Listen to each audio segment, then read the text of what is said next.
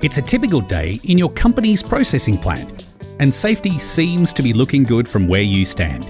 As you walk around the site, checking on the various works, you notice people wearing PPE. Procedures are being followed, and teams discussing safety during pre start meetings. From the outside, it looks like working safely is a priority around here, but your data tells you something very different. At the weekly safety meeting this morning, the ongoing high incident rate remains a cause for concern.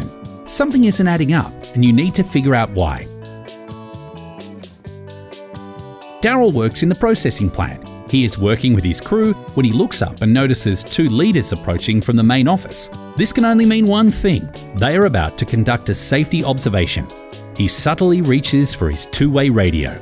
Ducks on the pond, he says into the radio. I repeat, ducks on the pond. Daryl looks around the worksite and sees a flurry of activity. Everyone is quickly putting on their gloves, addressing any obvious hazards, and ensuring they are following the correct procedures.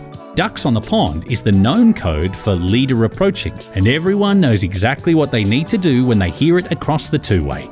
With a work culture like this, there's no wonder the data doesn't match the observed behaviour. The challenge from here is to create a culture where people choose to do their work the safe and correct way because they want to, not because they have to. We call this private compliance. A culture where employees see the benefit in doing things the right and safe way, even when no one is watching. Achieving private compliance is key to unlocking a positive safety culture.